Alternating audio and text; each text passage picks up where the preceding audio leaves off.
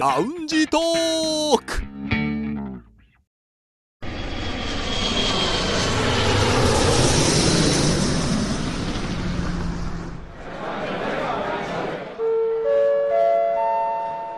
ラウンジトークよりご案内申し上げます。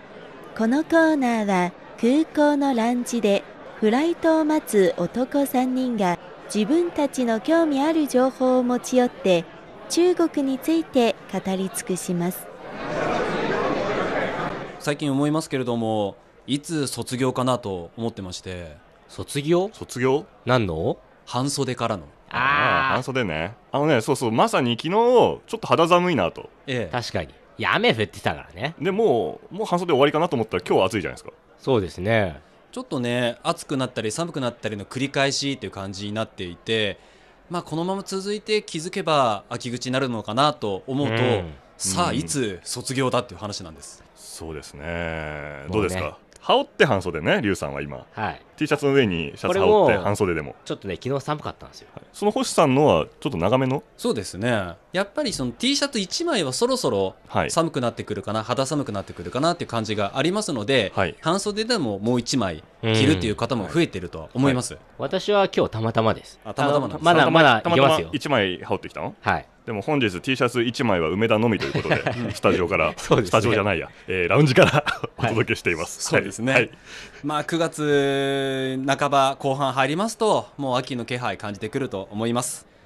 北京在住の男3人が情報を持ち寄って中国についてああでもないこうでもないと語り尽くすコーナーラウンジトーク三円新です。今日の担当は劉英さんです。はい。えー私が気になる話題はこちらです。EC サイトピンドードーでテスラ購入。ついに納車。8月16日、中国の EC プラットフォームであるピンドードーで電動自動車テスラを購入した上海の消費者に納車が行われました。8月20日、テンセント網のニュースです。はい、ということで、うんなんと、まあ、皆さんよくご存知のこの EC プラットフォームピンドードーでうんテスラが変えて、しかも納車されたというのが話題になってニュースとなりました。これがニュースになってるのはつはい。まりあれ、そのピンドードーで、まあ、車が売られたことがすごいということですか？それもありますし、ええ。テスラです。テスラが買えるんです。つまり高級車が買えるっていうことですよね、はい。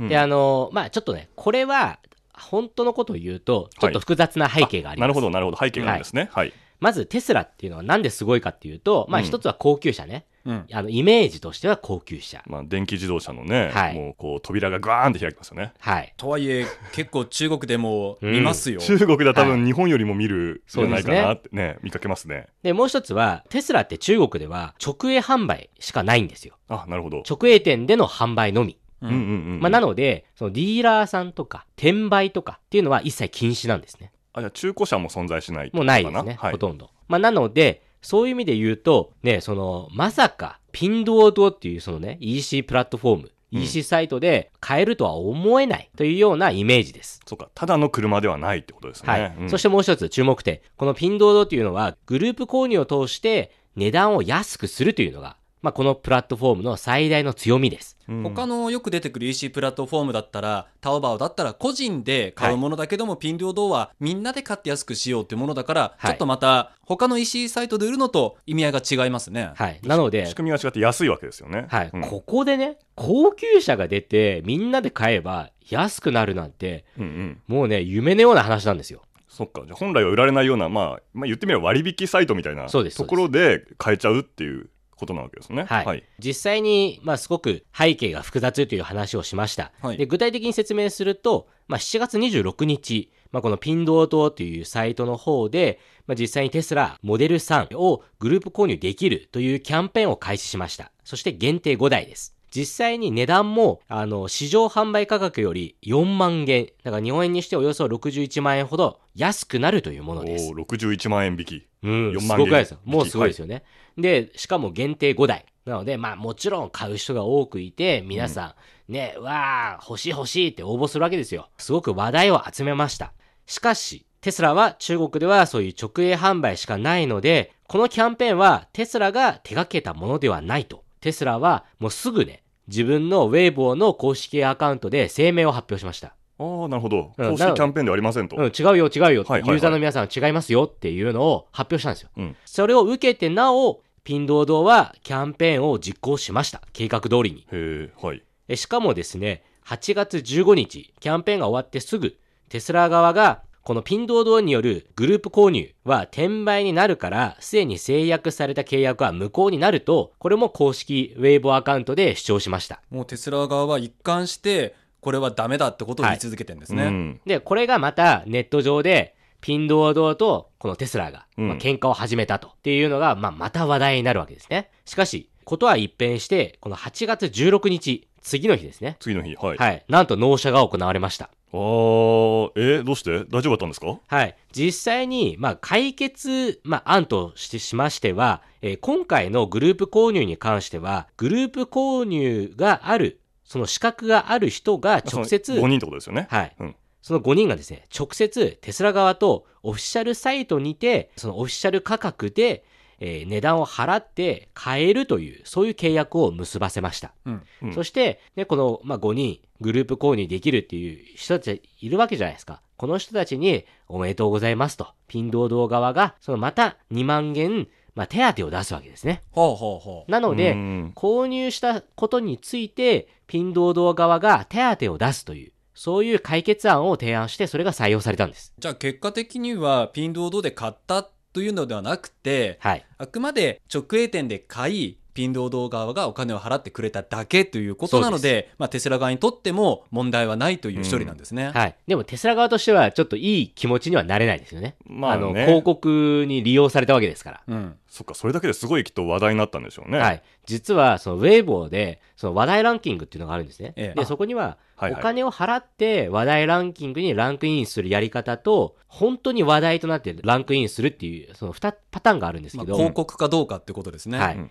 ピンに関しては、このランキングに、もう4回ぐらいランキングインしてるんですよ。この時のこの話題によって、この話題によって。日本でいうとツイッターのトレンドとかそうです、そうです。にトレンドに4か回。勝手に入ってくるとそうです。え大体、広告だと、ね何百万元うん必要になるって言われてるんですよ。だからそれあがー。たった、これで言うと5人にね、2万元ずつ手当を払うだけで、もう4回ぐらいこのトレンドインしてるんですよ。まあだから、まあいろんな見方があるんですが、このマーケティング戦略について、まあいいのか悪いのかっていう、まあいろんな見方がありますが、まあただ、そういう意味では、まあここ最近すごく話題になったっていう話です。うーん。まあそう言われると確かにこのニュースね。ネットサイトで買った車が納車されましたっていうのが何がニュースなのかってちょっと一瞬思いがちですけど、そういう背景があったわけなんですねはいはい、で、まあ、今回はそのマーケティングの話をするんではなくて、このピンドードっていうね、このプラットフォーム、改めてちょっと皆さんに紹介して、これ最近ね、中国ですごく話題集めてます。今、かなり熱入ってますね、はいこのピンドード大好き感が出てますね。はい。あの、ぶっちゃけますと、私最初ピンドードは好きではありませんでした。なんでですか？うん。これはね、あの、今から説明していきます。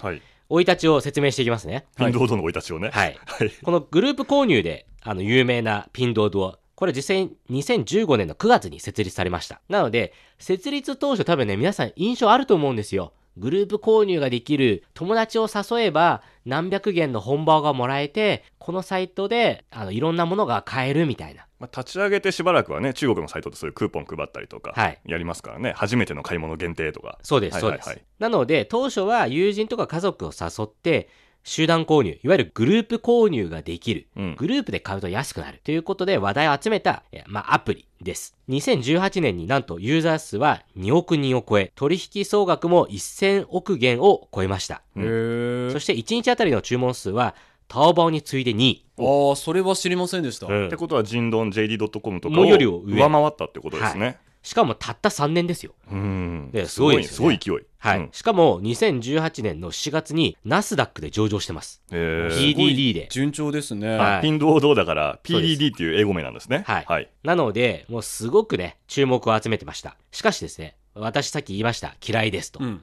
なぜ嫌いかっていうと、当初は偽物が多い。あと、写真と実物が違うということで、非常にクレームが多かったんですね。あじゃあそこで販売してる業者がちょっと悪質な業者が多かったっていうことですね。はい。一番、その、よく話題にされてたのは、テレビありますよね。うん。テレビ、例えば46インチのテレビ、ええ。これ1000元ぐらいで売ってるんですよ。あるいはもう1000元切る。安いでしょうね。安いですよね。安い安い安い、うん。でも、実際に届くと、いいかにも液晶テレビのような写真を撮ってたけど、えうん。超分厚いとかね。ブラウン管ってこと？そうそうそう、みたいなね。いやそれは僕、ほ本当笑い話なんですけど。っ逆に貴重かもしれないけど。まあはい。なるほどね。ていうような、あれ、これどういうこと？みたいな。ああからさまに偽物じゃんっていうそう事そう件もあったわけです、ね、いうのが多かったんですよ。はい、なので、一旦みんなそのユーザーが離れてたんですよまあ、ね。そりゃそうだはい。うんしかし、この会社の広告チームとすごく優秀なんです。で、その後、こういうやり方じゃダメだっていうことで、信頼を取り戻すために、回復させるために、様々な、まあ、取り組みを行ってきました。はい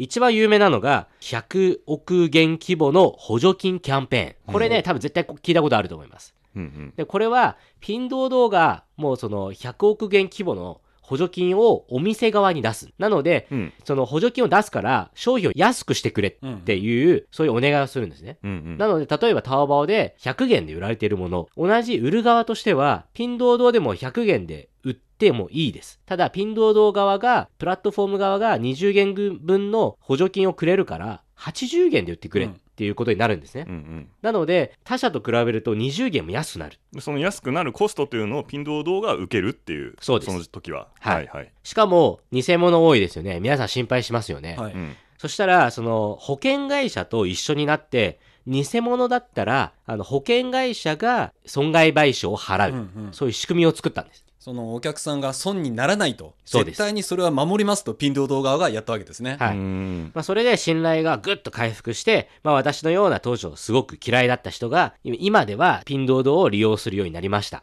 うんまあまあさっきまでね嫌い嫌いって言ってましたけど今は？今はね、結構好きです。あのね、地味に安いんですよ。だから、他社では、100元、200元のものが、ピンドードだったら、それより50元ぐらい安いんですよ。結構派手じゃない？いや派手ですよ。まあ、100元で50だったら50%オフですからね、はい。そしたらでね。なんか買おうと思ったら一回見ますねそうでしょ？ピンドー動をね。はい。うん。だから、値段を調べたりとか、何か買うときに参考にするわけですよ。うんうんうん。うん、そういう意味では、多分ね、あの、今、すごく注目されているサイト、アプリです。必ず目を通すサイトみたいにはい。なりつつありますね。か。それを見ると他のところで売られてるものの値段の底値が見えてくるじゃないですか、はい。あここまでこの商品を安くできるんだってのがあるからそう。こで多分自分の財布と相談しながら購入できますよね、他のサイトは嫌でしょうね。そうですね。ははいい。ということで、で、もう一つね、まあ私は今回ニュースを見て、まあ皆さんに紹介したい点、それはなんとネットで車を買う時代がついにやってきたそうっなんですよねていうところですね。いやー、どうでしょう。実はね、もうネットで車を買うっていうのは以前もありました。ね。うんなんか聞いたことあると思いうんますけどね W11 とかね。そうそうそう車を売ったりとか、あと最近は、そのライブコマースとかあるじゃないですか。うんあれで、日本車もよく売ってますよ。あ生配信しながら、うん出演者が日本車これいいですよってしかもディーラーさんが出て、どこがいいのかっていうのを解説しながら売ってるんですよ。ディーラーが解説するんですねはいはいしかも会社の人も出てやるんですよ。うんうんだから会社の人、ディーラーの人一緒に出て、この車の特徴はこれでこれでっていう解説をやりながら、みんながそれを見て買うんですよ。やっぱりもう今ライブコマースはすごい流行ってて生でその商品の良さを伝えてくれるからその文章とか言葉だけじゃないからより多分商品の魅力が分かるんですよね、うん伝わってきますよね、で、あと、あの、私もそうなんですけど、車を買うときって、いろんなディーラー回らないといけないんですよ。そうですね、うんあの値段が違うから、うんうんやってるキャンペーンが違うので。で、車種も違うんですよ、微妙に。うんだから、どこで、どの車を買うのかってすごくね、見るのに時間かかるんですよ。まあ、回ってるとねもうはい買おうと思ったらもう1日かけてもそんな回れないし。もう終わらないぐらい。それが楽しいって人もねいるかもしれませんけど、はい。まあそうですね。まあ大変は大変ですよね、うん。なので、ライブコマースでね、これから多分車の販売、これ絶対伸びますよ。だって見てるだけでいいんだもん。そうかいろんなチャンネルをこうそう。見ればいいわけだ。で、はい。まあいろいろこう見て比較して一旦本物見に行こうかってこともできるわけですもんね。そっちの方が絶対手っ取り早い。ううん。んということでね、この皆さんもね、機会があったらぜひ、タオバオとか JD.com、ピンドード、いろんなサイトがありますんで、車を1台買って楽しんでみてください。おかしくないピンドボードを使ってみてとかじゃないね。車を買ってみてくださいって話ね。はい。はあ。はい、ということでね、どうですか皆さん、最近買い物、何か買いましたか？好きねその話題。リュウスさん好きですよね人の買い物を聞くのがね、まあどうですか？言い出しっぺから言いましょうよ。あ、わかりました。私ね、こう見えても、家事が好きなんですよ。おはい。家事が好きで、でも、地味に家事って時間かかるじゃないですか。まあね、はい。うん、で特に時間がかかるのが雑巾がけ。床の。まあそうです雑ね巾掛けしてるの？普段。いやしてますよ。それはちゃんと雑巾で？雑巾で。腰をこう下ろして？はい。だからすごく時間かかるし疲れる。まあそりゃそうだ、うん。はい。で私ねついに発見しちゃったんですよ。シャオミで雑巾掛けを自動でやってくれる電動モップみたいなのがあるんですよ。でしかも1分間で1000回こすってくれるっていう優れものへえあっていうのはあのロボットモップじゃなくて手手では持つね。手で持つタイプです。その先の部分がこそう震えてなんだろう電動歯ブラシじゃないけどなんかこそうそうなう前後するって感じですか？そうですそうです。ゴシゴシしてくれるんだ。はい。しかも、ボタンがあるんで、ボタンをピッて押すと、床を拭く洗剤みたいなのが、スプレーで出て、あもうちゃんと出水でてまあ、水拭きできるんだ。そう、うん。それを、だから、電動でこするだけって超便利ですよ。今自分は強くやんなくていいわけですえ、ね全然やんなくていい。い使ってみてどうです？や、もう最高ですね。っていう風にね、あの、ほんと生活が便利になる商品って、毎日なんか出てるんで、買い物がやっぱ楽しいですよね。そうね日本ではシャオミって言ったらねスマートフォンかもはいしれないですけど,、知れませんけどねそんな掃除道具もあると、、はいい。どうですか、皆さうこん。とですね私で言いますと、まあ、食品なんですけれども貴州省の脱炭そばを買いまして、えー、タそばう。ん。そばまあ、それはあの、まあ、糖質が炭水化物とかちょっと低めのお蕎麦なんですけどでもその蕎麦があってそれも結構貴州省の奥の方からこうどんどんどんどん運ばれてきてで、まあ、それを買った時に運ばれてくるこう経路とか見るとおすごい遠くから来てるってワクワクしながら見てたんです なんか以前お茶買ってませんでした？あもうそれと同じ気持ちです。前は雲南省のプーアル茶です。おおなんか奥地好きですよね、星さん。のね結構そこの特産品ってどういうものがあるのかなっていううん。興味もあったので、それで買ってみてで最近届いたんですけども、はい、どうですか？お味は。あ美味しいです。で、はい。結構特徴的なのがなんだろう素材の色なのかもしれないですけど、うん。お蕎麦を茹でたら結構ねお湯が黄色くなるんですよ。へだからそのうん成分がすごいしっかり出てるから,、うん。その分他のなんか余計な混ざり物がないんだろうなという安心感にもつながっててこれをね食べて。て美味しかったので今部屋に2キロくらいありますからね。いや、食べ過ぎ。それもう持つんですか？日持ちはするんですか？日持ちします。あ。の乾麺だから日持ちはします。ああいいな、えー、なんなんかね、そう言われると試してみたくそういう、ね、なりますよ地方のね。ものを買えるっていうのはね、うん。便利ですよね。梅田さんいかがですか？私ねでもずっとね今考えたんだけど思いつかなくて、はい。あでもね一つだけ思いついたのが最近、えータオバオで買ったのが消しゴムハンコセットを買いました。消しゴムのハンコセット？消しゴムを彫ってあもうちょ作るセット彫刻ですねそうです。自分で作るハンコなんでかっていうとあの最近ある知り合いのお誕生日がありまして、でちょっとこうなんかみんなで何か用意しようと。なるべく手作りのものを用意しようと。いうことで私そういうの苦手なんであんま器用じゃないんでね。でもね一個だけ昔経験があって。大学の時にあの当時のえっとですねあのアメリカ人の先生だったんですけどはい。アメリカ人のちょっとこう特徴ある濃い顔というか、うん。彫りの深い顔をハンコにしして彫ってうん。プレゼントしたらすごい喜ばれたっていう成功経験があったんで、うん。おあれを繰り返そうと。うん。思っおお。てでもねそんなんでもハン消しゴムまずねハンコ用の消しゴムっていうのはちょっとこう硬いわけですよ。うん。はい、はい。彫りやすく、うん、であとは彫刻刀とかいろいろあるじゃないですか、でそんなのでもどうやって手に入るんだろうなとうんタオバオで調べたらもう一発でセット。セットがあるんだ。セットで170元ぐらい。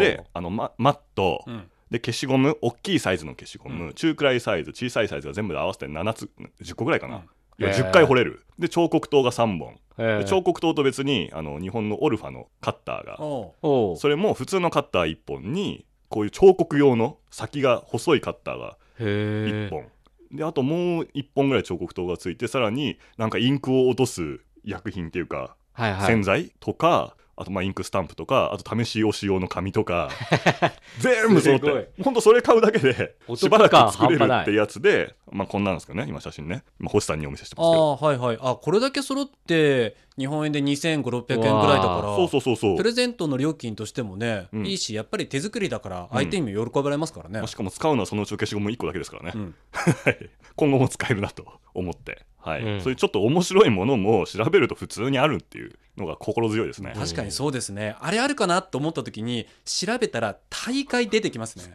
そこまでカバーするか、ほんと便利になりましたよね。でその中での車ということですかはい、もうぜひね、これを聞いている皆さんも、うん。うんまあ、いつかね、こういう EC サイトで車を買えるっていうのをね、体験できればと思い、紹介させていただきました。